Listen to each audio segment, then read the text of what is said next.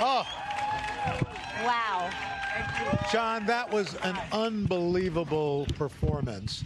And and what what always impresses me, no matter where I, when I've seen you perform, it is the power of positivity and joy Mm-hmm. that seems to pervade everything you do. Yes.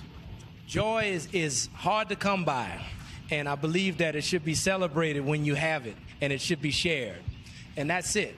The performance is a way for people to connect to light in a very dark time, to connect to joy. And I, I love that. It's, it's such a, a calling for me, and, and I love to give to the people and serve the people in that way.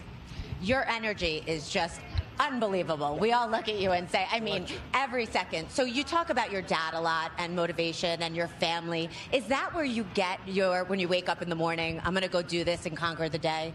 I, I believe we have such a great opportunity being alive. And even when it's the, the lowest moments, it's a beautiful thing to just have the ability to wake up and do something. I, you feel it. It's electric. I just get out of bed and I feel that that's such a great opportunity. I don't want to waste it. And that's it. How you spending Father's Day? What are you going to do Sunday? I, I always call my, my, my dad, my, my grandfather. I, I'm blessed to have him. He was with me at the Grammys oh, when we won. and it was a Right. beautiful 90 years old. Yes. And I call him and I just listen to him tell stories. Or I call my dad. We talk almost every day, and I just listen to the stories because, you know, they'll say stuff and think that it's something that I know. Yeah. But it'll be a, an incredible story. Like, well, we went into the studio with Isaac Hayes, and he just came and recorded. he was just hanging out, and I was like, wait, what? you know, they tell stories, and it's an amazing thing to to learn your own lineage and your own heritage. So that's what Father's Day really symbolizes for me. What? Go ahead. oh no, I was just going to ask the best advice he's ever given you.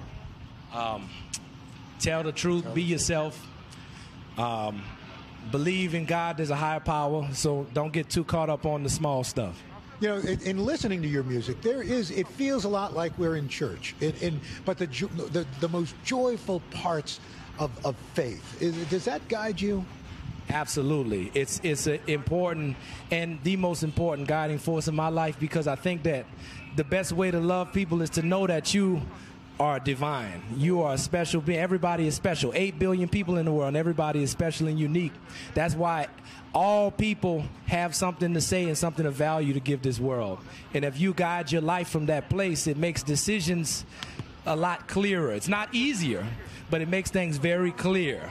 And when I get on stage, it's almost it's a utopia because it's it's all of the best things in life that you can bring to bear. Even the even the sadness, even the the, the wistful feelings are, are great. Uh-huh. And it's it's an incredible place to, to be able to come. It's a sacred space. This stage is a sacred space. And these uh-huh. people are, are, are my, my people. These are my family. There you go. In fact, this song you're going to do a little later, "Cry." I mean, there, there's some mournful parts of that, but then there's still joy in it.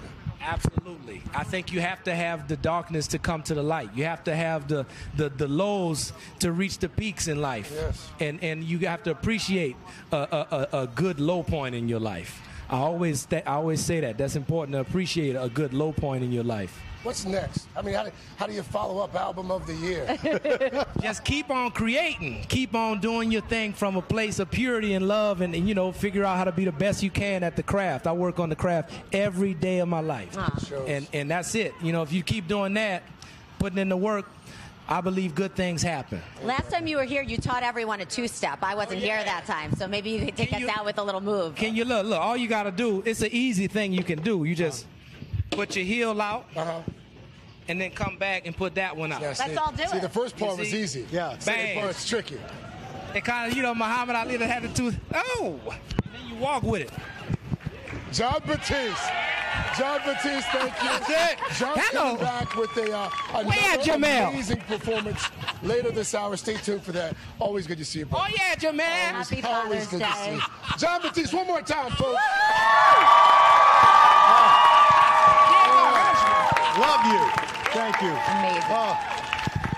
Oh, oh, yes. Aw.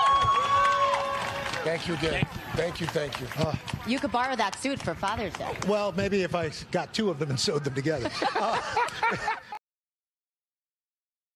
Hey, thanks for watching our YouTube channel. Find your favorite recipes, celebrity interviews, uplifting stories, shop our favorite deals, and so much more with the Today app. Download it now.